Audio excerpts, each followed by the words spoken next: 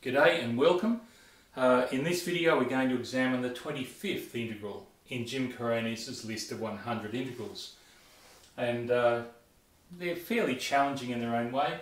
This one I think is the first one in the series, certainly the first one in quite a long while, that involves partial fractions. We have a product of two polynomials on the bottom, two fairly simple polynomials, and a smaller power on the top, considerably smaller power.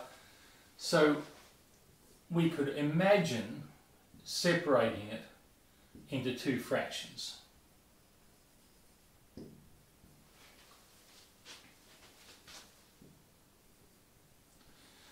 In order to work out what to put on top, we would, perhaps I should use a different colour,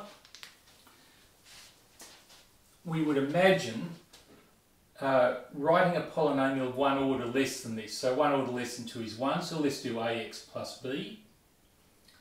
And this has order 1, so we just put a constant, c. And let's work out what we need on the top to make this relevant.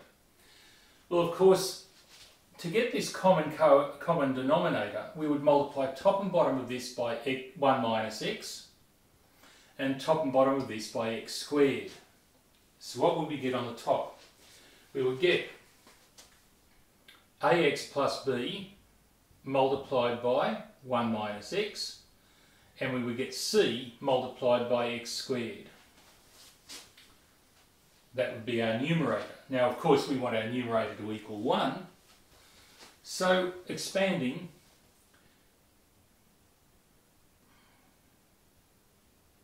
we get this, yeah, expand is probably the easiest way.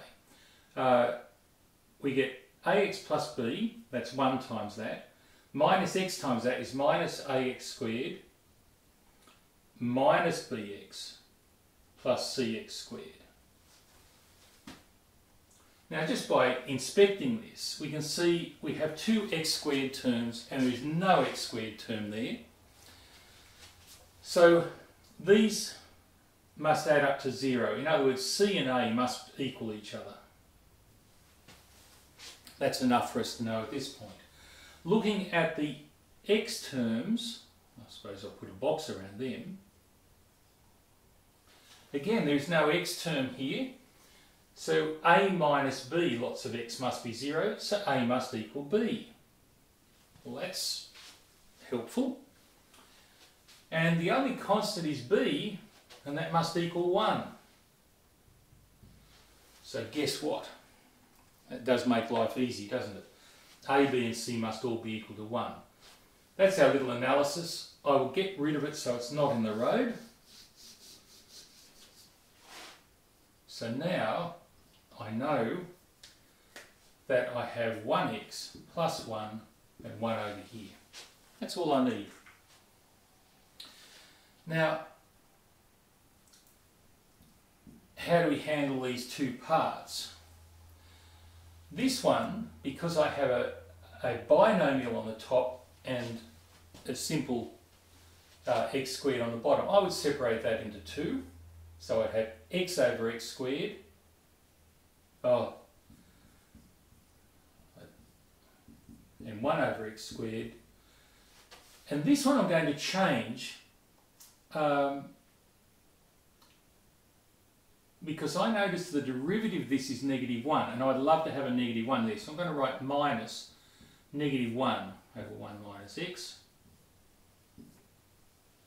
dx.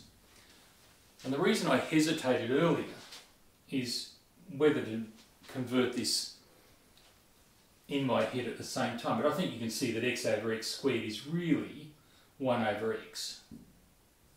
So that's just saved me a line of writing and I'd have limited room on my board here. So, what's the integral of 1 over x? It's log x. Strictly speaking, log of absolute value of x. What is the integral of 1 over x squared, which is x to the negative 2? Well, it's x to the negative 1 on negative 1. Minus And because this is the derivative of that, we have the logarithm of this plus c. So putting this together, we can put these two logarithms together, but here, this negative index puts the x on the bottom, the minus sign comes at the front, so it's minus 1 on x, or negative 1 on x, plus the logarithm, that minus, logarithm of this minus logarithm of this is logarithm of x over 1 minus x plus c. And there we have it. It opened up quite nicely with this lovely little separation of the fractions. And I don't think that's worthy of extra comment. I hope it's been informative and interesting, and I thank you for watching.